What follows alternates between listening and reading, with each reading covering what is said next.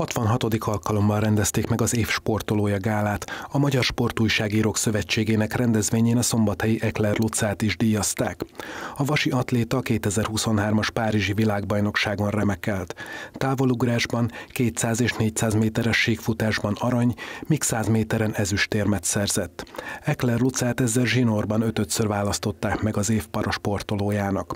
A gálán tarolt a magyar férfi labdarúgó válogatott, amely csapatsportokban diadalmaskodott uralkodott, Szoboszlai Dominik lett a legjobb férfi sportoló, Marco Rossi pedig a legkiválóbb edző. A hölgyeknél Érdi Mária vitorlázó világbajnok, az egyéni sportok csapatsportjában a férfi kardvívó válogatott lett a győztes. Az életműdíjat Schmidt Pál kapta.